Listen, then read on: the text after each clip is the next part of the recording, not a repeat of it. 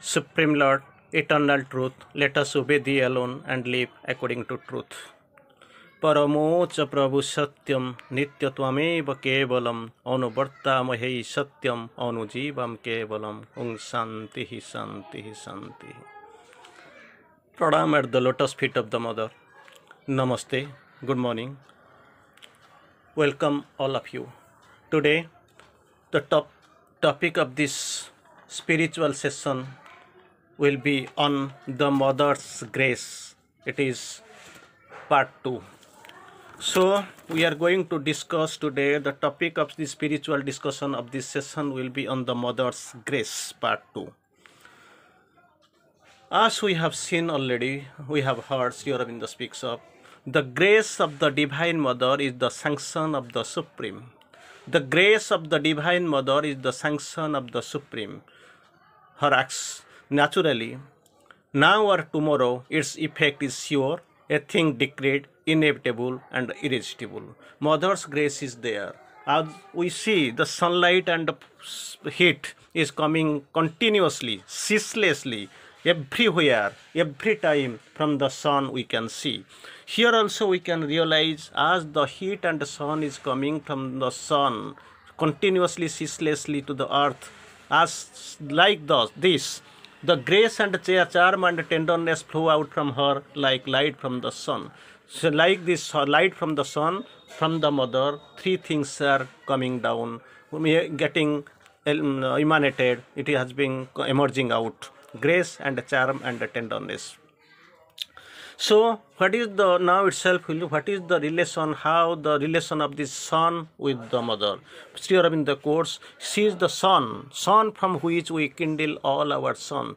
Till date, we know only one sun is there. Inside the sun, we see every day there is sunrise and sunset. There, actually, fusion process takes place. Hydrogen, two hydrogen molecules get unite and figure, perform one, build one helium molecule. That is the fusion process. But still in the course here, she is the sun, mother is the sun from which we kindle all our suns. There are many suns. We can so innumerable that number can be counted. So all these suns are getting illumina, illumined. We they get the sun from which we get kindled with the mother. Mother kindles all our sons So we will go in details, of course, in brief, in a quarter an hour discussion on the mother's grace. It is that transcendent grace which the embodiment of the mother is there to bring to action. Sri Aurobindo, initial stage, the very first line Sri Aurobindo quotes on Mother's grace. It is that transcendent grace which the embodiment of the mother is there to bring to action. Second, mother gives in both ways, in two ways, through eyes to the psychic, through the hand to the material. So mother gives in two ways. Mother Sri Aurobindo speaks through the eyes to the psychic and through hand to the material. So third thing, already we know, initially we know mother's grace flow, flows emergence in different ways. For this grace, to get the grace, all nature dumbly calls to her alone to heal with her feet the aching of her life, eh, aching throb of life. So this entire nature through her feet, all nature dumbly calls to her alone to heal with her feet the aching throb of life. Another also immortal through smile. Suffering was lost in her immortal smile. Then a touch can touch can turn difficulties into opportunities. So there is if there is a touch through her touch, also this grace emerges and it comes down, emanates.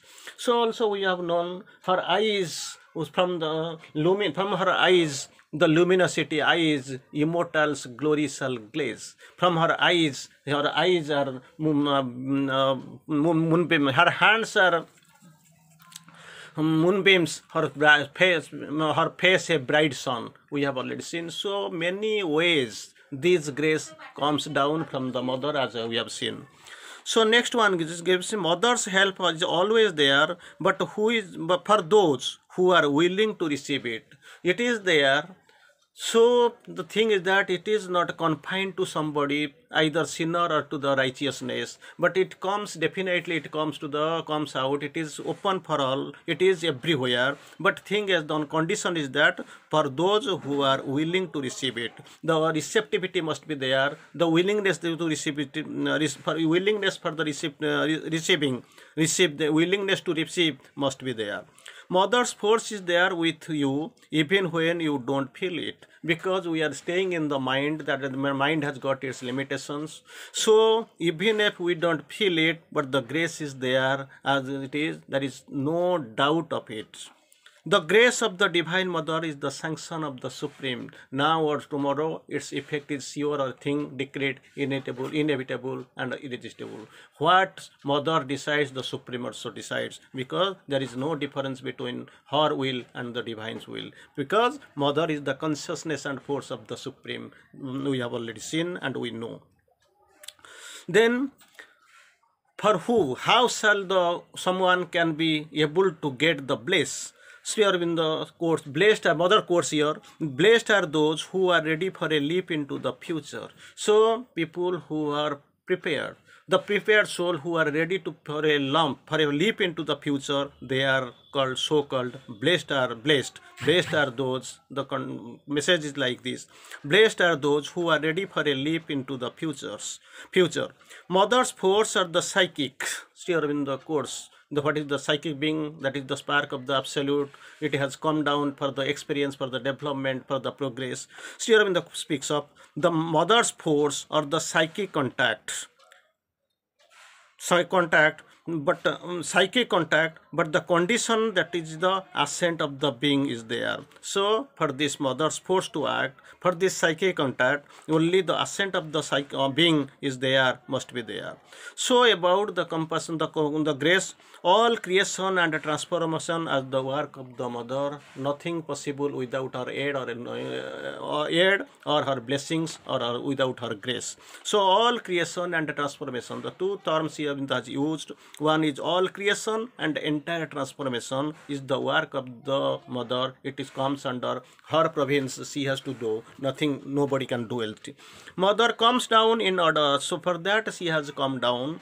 Mother comes down in order to bring down the supramental and it is the descent which makes descent of the supramental which makes the full manifestation here possible so mother has come down already we know there are two powers that affect in their conjunction the great and difficult thing which is the aim of our endeavor. A fixed and unfailing aspiration that calls from below from the below. A fixed and unfailing uh, uh, aspiration that calls from below. And from above simultaneously the uh, from above a call must come. The power that the mediates between the power that mediates between the sanction and the call is the presence and power of the divine mother. There must be a fixed and unfailing aspiration from, from below and call from above. The power that mediates between the sanction and the call, sanction from above and call from below, that is the presence and power of the Divine Mother. For that, she has come, body, come here into this embodied being. She is staying there, in living behind her white sincerity. He, she has immortality, eternity. She has left behind. She has come being wrapped up because a world's desire compelled her mortal birth so she has taken birth here but problem is that she says that in the beginning whenever and wherever there was possibility of manifesting a ray, ray of consciousness i was there from the beginning she was there. Now she is there. Towards eternity, I will be here, mother says. I will be here till the last man is transformed. So she was there. She is eternal. She is now with us. She will be there. She has given us the Pratishruti. She has given the word. I will be there till the last man is transformed. The thing is that she has come down in order to bring down the supramental. She, this supramental must be brought down. She has come there for the purpose it's aimed. Um, her objective is this one. And it is the descent which makes the full manifestation possible. Then mother's grace, grace come down by mother's will. When she wills with her will, it comes. The Purusha can accept or reject it, the grace it is up to you you can come you can accept it you can reject uh, you can also reject it it is up to you but grace comes down by the by her will so then all has to be done by the working of the mother's force. Mother's force must be there. With the mother's force, everything will be there, aided by your aspiration, devotion, and surrender. Three things you must have one is aspiration one is second is devotion and surrender. These these these uh, these have, has to be these have to be have, have to be aided by the mother's force. So all can be done with the mother's force aspiration and your aspiration devotion and surrender. Those who are not straightforward can't profit by the mother's help. So you have to be straightforward truthful you have to come forward. And for they themselves turn away if they, if they are not straightforward they themselves turn away from it Mother is everywhere and acts everywhere out of her universal knowledge. This is the mother's unique significance. We heard what is there? That universal knowledge is there for she is everywhere and acts everywhere. Constant presence. How can go aspire? We can get it by, by constant practice. A world of desire, world's desire compelled all her mortal birth. She has come down to help, to bring the manifestation, bring the supramental here for the transformation and perfection. Mother has taken the body. Why? We have already called, we have done, we know um, a world's desire compelled her mortal birth. She has taken the body because a work of the physical nature, including the change in the physical world, had to be done. For that, she has taken a body which one can't be oneself one can get done, get which one can't do by oneself. Everything can be done if the mother's force is helping with by calling the mother's force. The more one is open to mother's action, if there is opening to the mother's action, then easily the difficulty, difficulties, difficulties will get solved and the right thing be done. So there must be the opening to the Divine Mother, it is a must. Because this transformation can be done only by a force infinitely greater than the man's force. Without any unaided effect, this transformation is not possible. For so that only he who is turning this yoga is necessary and he who is turning to the mother is doing my yoga. For this, the opening is there. So we have to open to the mother, take her aid, she will do everything. Mother has many different personalities and her appearance varies according to her uh, to according as one or another predominates different personalities we know. There are other personalities of the divine mother Sri Aurobindo has said after um, uh, concluding the four grace aspects of the mother. Then pure in mind, only pure in mind and prominent in psychic, they will be in a position to know what is the divine will and what is against it. The transformation can only be done only with the force infinitely greater than the man's force. For that force to act naturally, it is the requirement, the most requirement is that we have to be taken, we have to take the aid of the Supreme Mother's help. Her force and uh, power has to come down, her light has to come down and transcend us.